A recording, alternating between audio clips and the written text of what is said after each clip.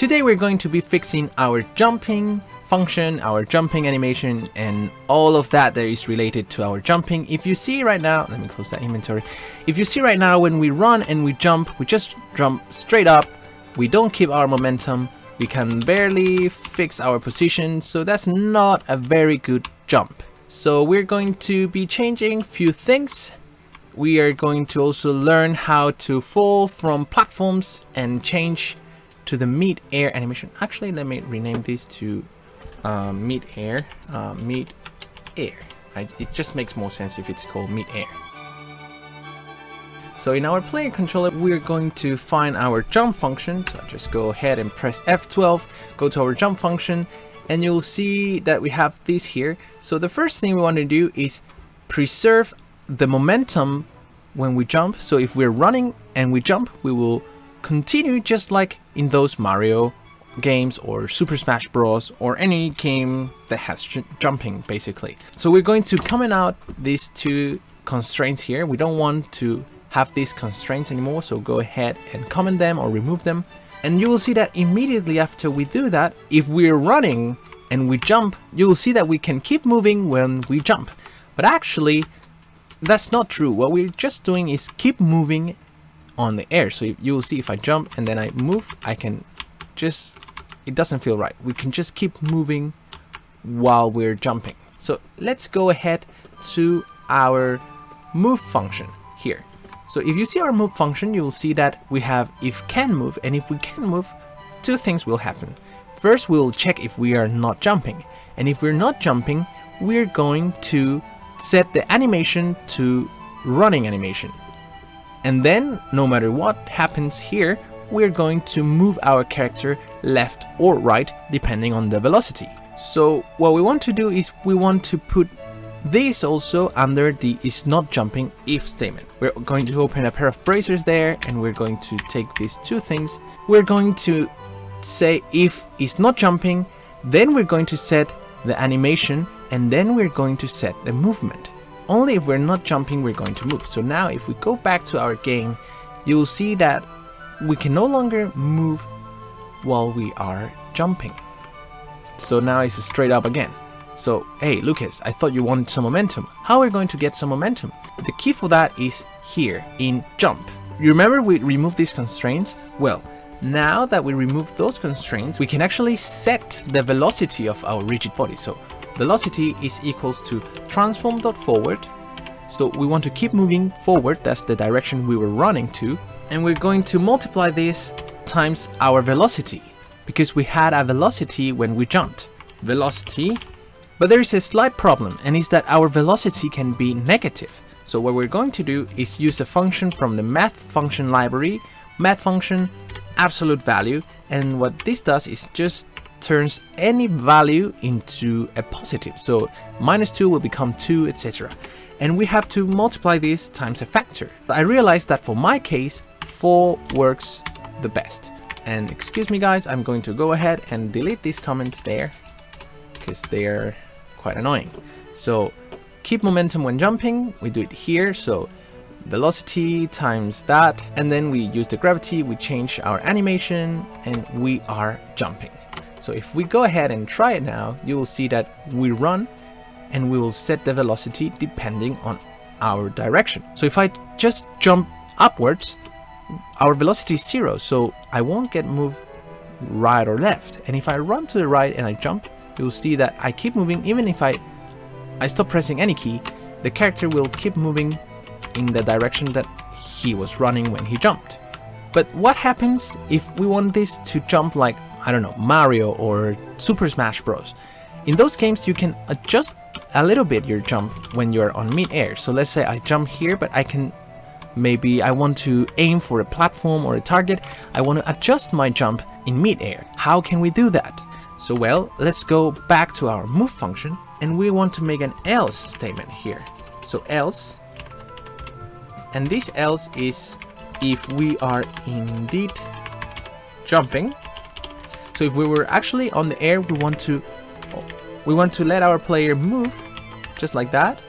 But instead of moving normally, we want to move much slower. I realized that for my case, dividing the movement speed by 5 makes it feel just right. Now you will see that I can run, I jump, and then I can adjust slightly my jump. So I can jump further away, or if I just keep pressing to the left, I won't go as much. You can tune your value. Let's say if it's 2, it will be much easier to notice. So if I go and jump, then I can adjust my jump much easier. Uh, but for my case, I like 5 much better. Great, so now we can run and jump and keep our momentum and change our momentum slightly when we are on mid-air. How about we do some platforms? So just make a couple cubes on the scene near my character, zero. I'm going to make them bigger a little bit, so maybe three. This is going to be 0.3 and it's going to be one. And I'm going to place it up a little bit and I'm going to duplicate this. And if I go to my scene view, I'm going to move it to the right, move it up. So now let's try jumping on these platforms and it should be working with our current code. So I can jump up and you will see something weird actually. Uh, when we land here, I can't trigger the animations from walking. I can still jump, but I can't move properly. And that's because we have an landing routine here. We have a on land routine. And remember that we compare a tag and that tag is floor. So what we have to do is tag these two cubes as floor so that our player recognize them as something that he can walk on. So if I go and jump, I can trigger that on landed routine and we can actually land on it. So there you go. What happens if we just fall down from our platform instead of jumping from it? So right now when I jump, you see we have a on mid-air animation. You can see it here when we jump you will see the mid-air animation is there. Right? So mid-air animation. But when we just walk off this the this platform, that animation actually doesn't get cold. And we're not considered as jumping when we're in mid-air. So I can jump again from mid-air if I do that. So how can we fix this? Well, first thing we want to do, uh, we're going to tidy up a little bit here I realized that there is a slight problem with this transition. This should not be not equal to 5, but this should be equals to 6. So when we're in mid-air, we want to transition to jump down when our condition is equals to 6. We also want to remove this transition here. I don't remember exactly why I added this transition, but let's go ahead and remove it for now and we're going to create a new transition from transition state into mid-air. We're going to remove has exit time and we're going to add a condition. The condition is equals to 7. So if we are we're going to leave the number 7 for our direct transition to mid-air. So we don't have to go through the jump up part of the animation, we can go directly into mid-air because we're not jumping. Remember, we're not jumping down from the from the platform. We're just walking off from it and we're just falling. So that's why we have to set this direct transition with the condition 7. Okay, so now we set our animator. Now we have to set the condition properly in our player controller. So let's go down here to our on trigger enter and I want to make some changes here, very small changes, don't worry guys. I don't want to check my tag here. I want to check my tag on my on trigger enter function and then I don't need to check that here. And since we don't need to check that here, we can get rid of this parameter, which is the other parameter.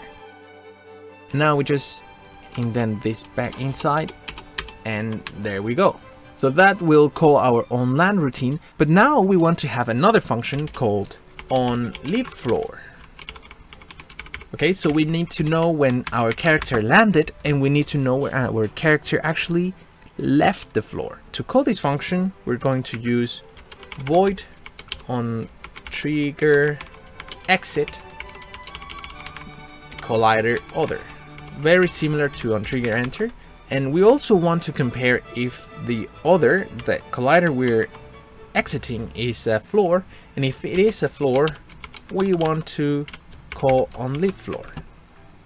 So what happens on leave floor? Well we want to set the animation. So anim dot set condition. No no set condition. Set integer condition 7 so we set the animation to mid-air animation.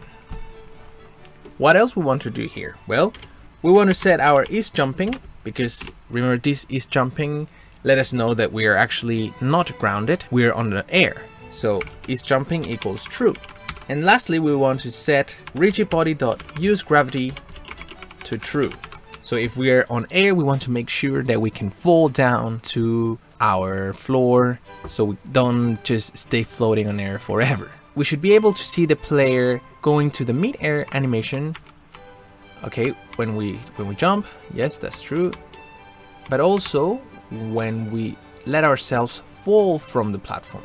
So if we just walk down the platform, oh, Okay, I type here, I type this wrong.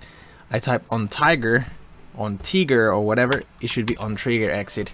I'm sorry about my silly mistake. So that's why it was not working. So now let's play this one more time and we should be able to see that our condition turns to 7 when we leave the floor. So even when we jump normally, our condition also turns to 7 and when we land on something where our collider is too big, I think. Okay, right now our character is a little bit fat, so we need to fix the colliders a little bit, reduce the radius of our capsule collider to 0.3, and remember that the foot collider, this box down here, needs to always be smaller than the capsule. So we're going to reduce the size to 0.3, 0.2, 0.3. That's the size of our box collider. And then the center, we just want to reset it to 0, 0, 0 if we go ahead, you'll see that our mid-air animation should keep looping while we are falling. So let's go here, we jump up, we jump up again, and if we just walk down the ledge and we just fall, you'll see mid-air repeat until we touch the floor. Let's see it one more time in slow motion. So we run off the ledge. And there you go. So that's how we can have a platformer style jump. Hopefully you can design your levels with different kinds of platforms, maybe different paths for your player to choose. Maybe you can hide some special items up in a platform or something. And yeah, I think this is a much better jump than the one we used to have until this episode.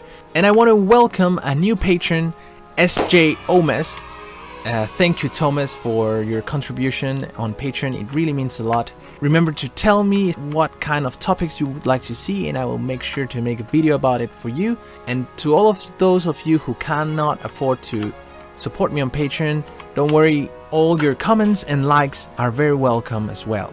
So guys, again, thank you very much. I hope you enjoyed the video. I hope you learned something, and I will see you all on the next one. Adios!